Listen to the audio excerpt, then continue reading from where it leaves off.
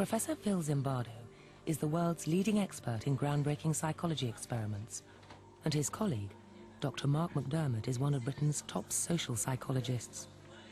We are about to see a practical experiment unfold.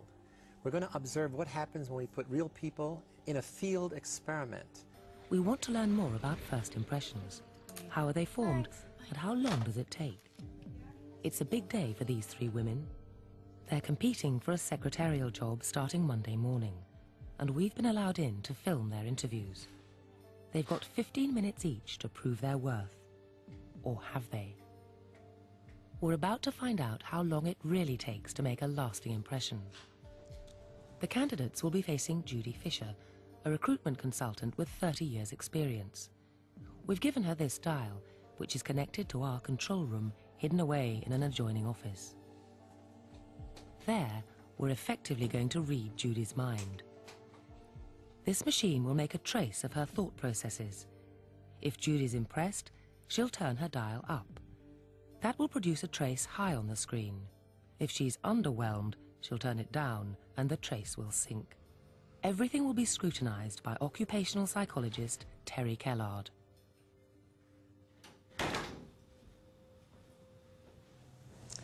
Bridget, hello, I'm Judy Fisher. Thanks for coming along and being prepared to do this. We're going to talk first of all, Bridget, a little bit about what you've done and about what you're looking for. Then I'm going to tell you a bit more about the job and we can take it from there. Great. Okay? Yeah. Bridget's been sitting down for just 12 seconds and said all of five words. But her trace has immediately gone up from an average reading of zero to an impressive 56. Let's just start with, um, got your CV here. Clearly, she's got a positive impression. That's the most important bit of the interview. That would have been based on what she looks like. She looks like a PA. Yeah, I just I like that, and I'm good at that, and I'm mm. efficient and fast, and I do mm. as much of making sure everything's in order as possible. The trace remains high right till the end, finishing at nearly 100. Bridget's prospects look good.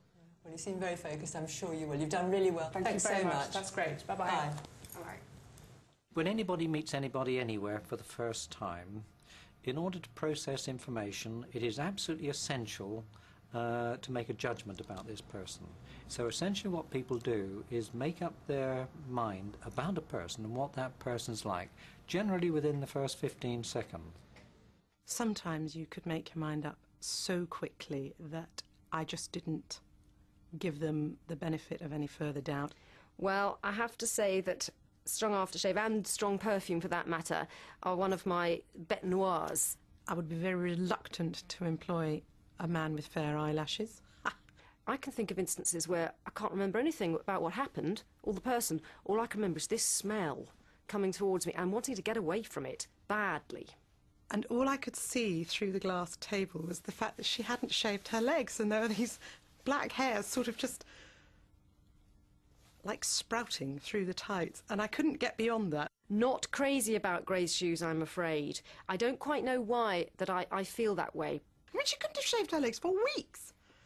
Lucy, hello. I'm Judy Fisher. Thanks so much for coming along to see me. We're going to just talk a little bit about... Lucy looks fine, so her trace starts slightly above average, but only just, and it doesn't last. Uh, it was my favourite subject at school. It was Listen to her voice. It's beginning to lack expression. You were there for a couple She's years. licking her lips, signs of tension. long term, something. At best, the trace is mediocre. At worst, it drops. Interested in alternative health and nutrition, and uh, one day I'd like to make my career out of that. In what? Doing what? On what side of it? Well, um, possibly working from working from home and perhaps in a clinic as well as a uh, alternative health therapist and advisor. Lucy's lifestyle ambitions don't impress. Her trace sinks from plus 30 to minus 30 in 20 seconds. But the next candidate's trace will sink like a stone. Now, this should be very interesting. Shopping bags, an obvious mistake. But how quickly and dramatically will they affect her trace? Valeria, hello. I'm Judy Fisher. Good to meet you. Thanks for coming in. In three seconds, it's plummeted to a feeble minus 50. Neither Lucy nor Bridget ever sank that low. Just going to talk a little bit about what you've done. You notice that negative first impression. That's based on what she looked like. She's slightly overweight, carrying shopping bags, low levels of eye contact, and nothing positive has happened yet. And on the creative side, you're keen cinema and theatre goer? Mm. Yeah, very go much a so. lot. Very much. What was the last thing you saw in the cinema? Um, I haven't been for ages actually. What was the last thing I saw? And what about Um, your sort of I've- attention to detail? You're quite thorough. Yeah, yeah. Because you have got three spelling mistakes in your CV. Do I? Yes. If you convey a bad first impression, you have to work very, very, very hard indeed. Um, there was a little bit of research that showed that it takes eight positive pieces of positive information before you can overcome a first uh, bad first impression. My view would be that even that's very, very difficult. Unlike the other two candidates, Valeria was in fact an actress planted by us without Judy's knowledge. I'd actually been told by Terry to um, fidget, to um, not look her in the eye, to not smile, and to um, move around in my chair quite a bit, and just be evasive in general. Looking at the three graphs together, Valeria came a miserable third behind Bridget first and Lucy second. But look closely at the first five seconds. The three women have already been ranked in order, and the order never alters. I didn't find it very easy to go back on a on a snap judgment that I had made, and possibly I'd lost some very fine candidates. It sounds very unfair, but the moment somebody walks in the room for an interview, I know or I can guess quite a lot about them just from the way they're dressed. Bridget, hello.